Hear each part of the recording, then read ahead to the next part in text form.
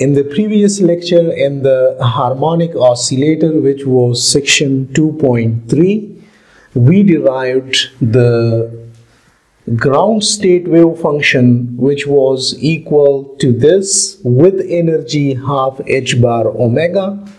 We then anticipated that the nth wave function will be equal to this means by repeatedly applying a plus on psi naught then we will have another wave function with its own constant. So we will go on with this. Now the question that we will handle is actually example 2.4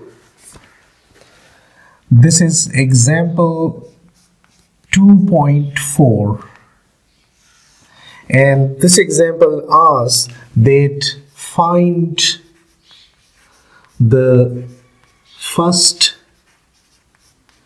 excited state of harmonic oscillator so in this example, we will have to find the first excited state of harmonic oscillator. So according to this equation, we will have to find psi 1 of x is the requirement in this example. So from this equation, psi 1 of x is equal to a1, then a plus to the power 1 in psi naught of x. Now we will have to put the values from here and the a plus value from our previous calculation. So I can write that psi 1 of x is equal a1 is the constant which we will have to determine and the a plus I know that it was 1 over 2m h bar omega square root and then minus ip plus m omega x and here the psi naught is this one which is m omega over pi h bar and 1 over 4 e to the power minus m omega over 2h bar x square. Now I know here one thing that p is minus i h bar d over dx. So I will have to replace this one and when I will replace this one then minus minus will become plus and i square again minus. So it will be minus h bar d by dx. So i can write i can move this constant outside and this is equal to a1 by 2m h bar omega then m omega over pi h bar 1 over 4 then I write minus h bar d over dx plus m omega x and e to the power minus m omega over 2h bar x square. Now we will apply this d by dx we will apply d by dx on e to the power this and then this will be directly multiplied. So we will have a1 2m h bar omega m omega over pi h bar 1 over 4 and now do multiply this. This is minus h which is multiplied the derivative of this first. So we will have minus m omega over 2h bar.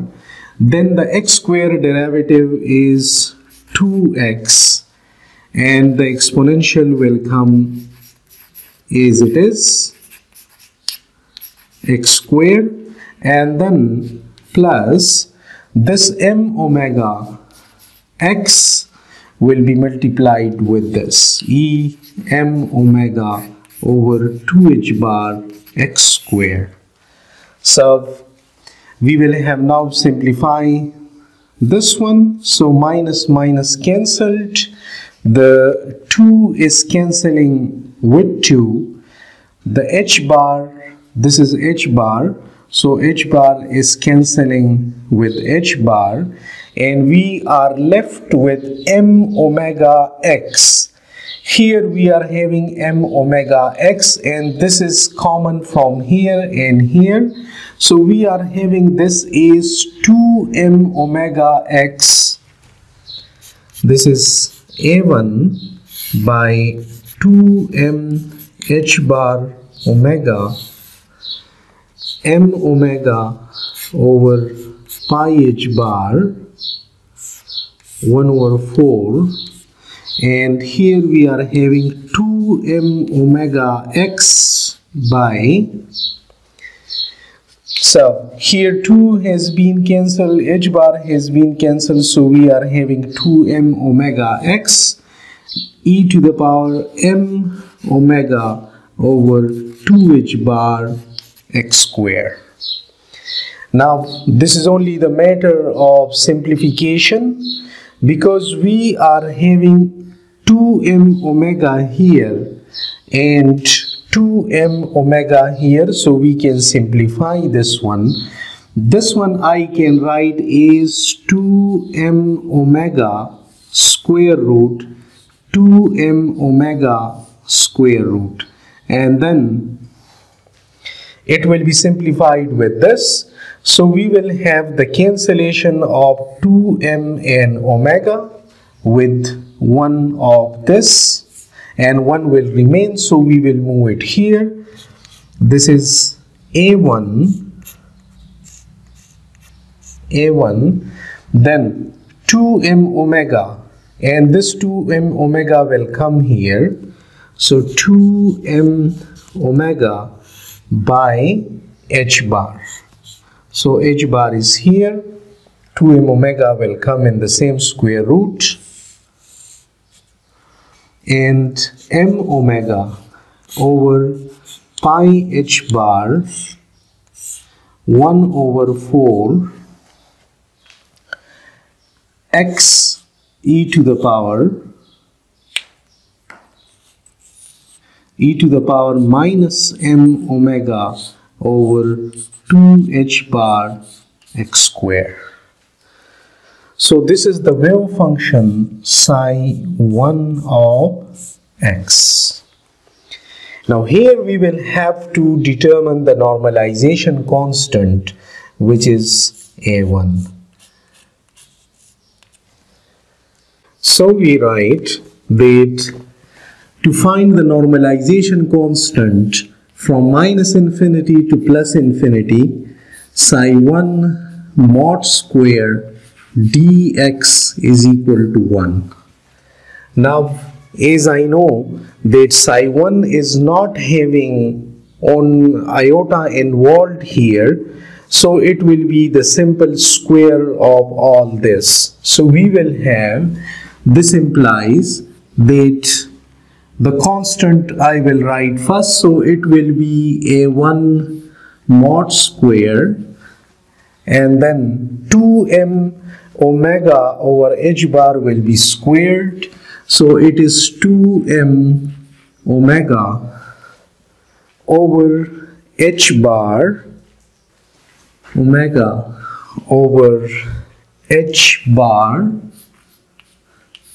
and this will become 1 over 2 because squaring it will make it 1 over 2 so m omega over pi h bar for 1 over 2 and then integration from minus infinity to plus infinity and x will become x squared while exponential squared will make here 2 so 2 2 will cancel and e to the power minus m omega over h bar x squared dx.